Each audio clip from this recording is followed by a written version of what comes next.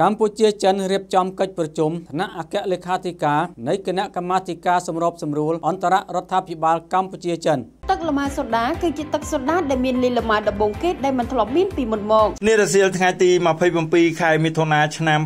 2022នៅទីស្តីការក្រសួងសេដ្ឋកិច្ចនិងហិរញ្ញវត្ថុលោកវងសីវិសុទ្ធរដ្ឋមន្ត្រីប្រតិភូអមនាយករដ្ឋមន្ត្រីនិងជារដ្ឋលេខាធិការប្រចាំការនៃក្រសួងសេដ្ឋកិច្ចនិងហិរញ្ញវត្ថុក្នុងនាមអគ្គលេខាធិការភាគីកម្ពុជានៃជាមួយសមាភិកីចិនលោកអ៊ូជាហៅឧបការីរដ្ឋមន្ត្រីក្រសួងការបរទេសក្នុងនាមអគ្គលេខាធិការភាគីចិននៃគណៈកម្មាធិការសម្របសម្រួលអន្តររដ្ឋាភិបាលកម្ពុជាចិនបានជួបប្រជុំពិភាក្សាការងារតាមប្រព័ន្ធវីដេអូដើម្បីត្រៀមសម្រាប់កិច្ចប្រជុំពេញអង្គលើកទី6របស់គណៈកម្មាធិការសម្របសម្រួលអន្តររដ្ឋាភិបាលកម្ពុជាចិនដែលនឹងដឹកនាំដោយលោកអបនាយករដ្ឋមន្ត្រីហៅណាំហុងនិងលោកវ៉ាងយីទីប្រឹក្សារដ្ឋនិងជារដ្ឋមន្ត្រីក្រសួងការបរទេសចិនដែលគ្រោងនឹងប្រព្រឹត្តទៅនៅថ្ងៃទី14ខែកក្កដាឆ្នាំ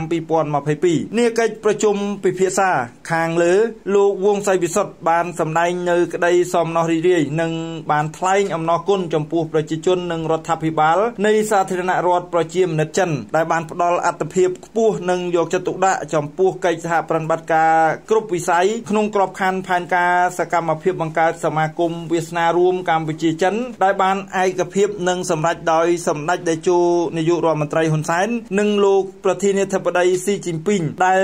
បានត្រួតពិនិត្យក្នុងកិច្ចប្រជុំនាពេលកន្លងមករបស់គណៈកម្មាធិការសម្របសម្រួលអន្តររដ្ឋាភិបាលកម្ពុជាចិនទោះបីជាកំពុងស្ថិតក្នុងកលៈទេសៈនៃការប្រឈមនឹងវិបត្តិ COVID-19 ក៏ដោយលោកវងសីវិសុទ្ធបានគូរំលឹកឡើងវិញអំពីការងារដែលភាគីទាំងពីរសម្រេចបានកន្លងមក ជាសមិទ្ធផលធំធំក្នុងវិស័យច្រើន ហើយចុងក្រោយនេះគឺជាការជួយកម្ពុជាក្នុងការប្រយុទ្ធប្រឆាំងនឹងជំងឺ Covid-19 ពិសេសការផ្ដល់វ៉ាក់សាំងដ៏ច្រើននិងទាន់ពេលវេលាដល់កម្ពុជាដែលបានជួយធ្វើឲ្យកម្ពុជាអាចគ្រប់គ្រងវិបត្តិនៃជំងឺ Covid-19 បានល្អប្រសើរដោយសពថ្ងៃនេះកិច្ចសហប្រតិបត្តិការទ្វេភាគីរវាងប្រទេសទាំងពីរនាពេលកន្លងមកបានបង្ហាញឲ្យឃើញយ៉ាងជាក់ស្ដែងនៅមិត្តភាពជាដៃថែបក្រោមសមាគមវាសនារួមនិងភាពរឹងមាំនៃទំនាក់ទំនងទ្វេភាគីកម្ពុជាចិន ដែលបានរីកចម្រើននិងឈានឡើងឥតឈប់ឈរព្រមទាំងបាន